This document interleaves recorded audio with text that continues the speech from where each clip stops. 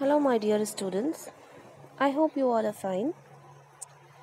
Students, we have already completed the first three chapters of our book, which is from first term, and we've done the revision as well.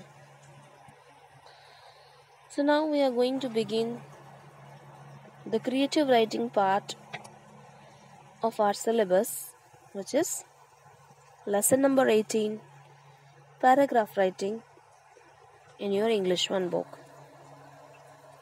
This is also from your first term.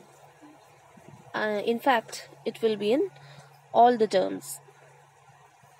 So, students, what is the meaning of creative writing? Let me tell you. Creative writing is something which you write by your own creativity and ideas. So, creative is something with your own ideas and thoughts. In your creative writing exam, you don't have to learn something, you have to just write in your own words, putting your own ideas and thoughts in your writing sheet. So, if the topic is given to you in creative writing exam, you have to write it on your own using your own ideas and thoughts. So, student, let us learn how to write a paragraph.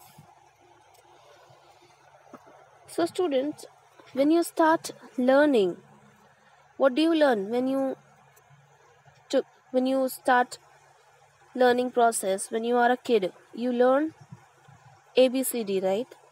And then as you grow you learn to write words and then finally sentences.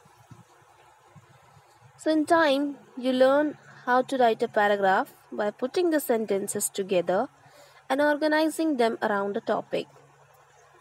So when you learn to write sentences and then after writing the sentences, you learn how to write a paragraph because a paragraph is made up of sentences. Right? You put so many sentences together in an organized way to make a paragraph.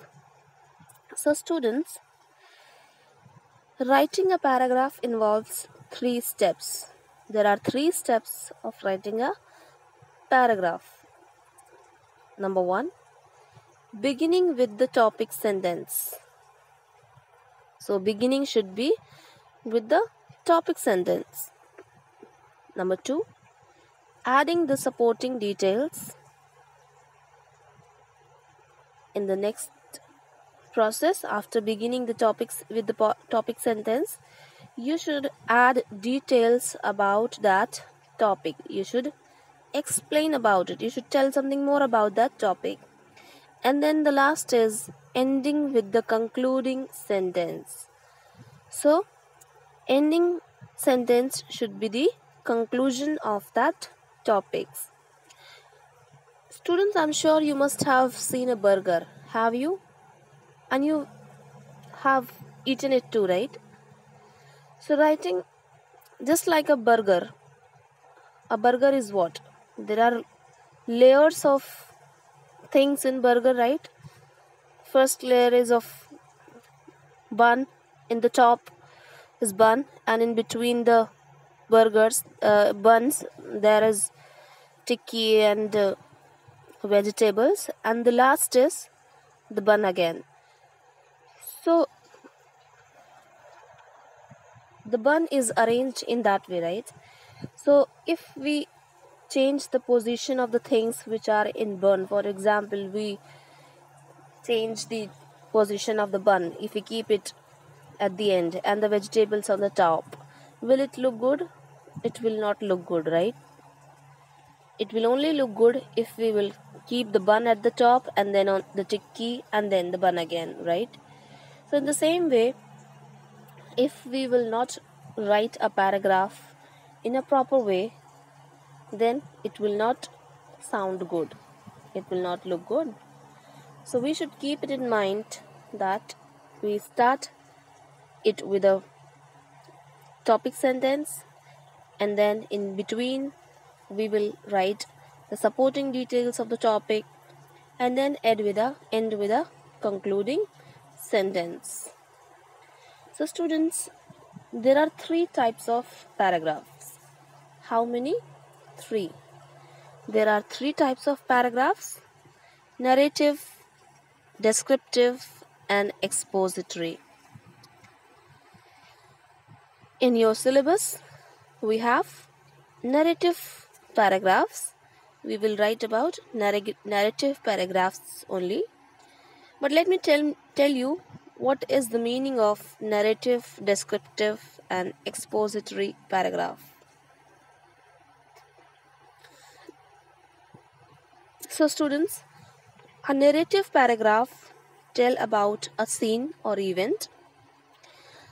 For example if you've been to some place if if you are going to a zoo or if you've been to a fair or if you have been on a picnic and then you describe about it that is narrative paragraph where you narrate something narrate the incident happened with you for example i've been to zoo and then there were so many animals there i saw giraffe elephant so you narrate everything whatever you have seen in the zoo or wherever you have been. So these types of paragraphs are called narrative paragraph where you tell about a scene or event. So next is descriptive paragraph. What is descriptive paragraph? So descriptive paragraphs gives description of something or someone. For example, if you have to tell about Mahatma Gandhi. So there's a you have to write a paragraph on Mahatma Gandhi. Then that is descriptive paragraph. That types of paragraphs are called descriptive paragraph where you describe about something or someone.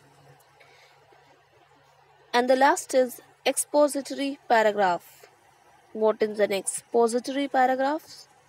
so expository paragraphs gives information for example if you have to write a paragraph on computer right so you give information about computer right so that these types of paragraphs are called expository paragraphs where you give information about something. So now we will learn more about narrative paragraphs. Here are some tips to write a narr narrative paragraph.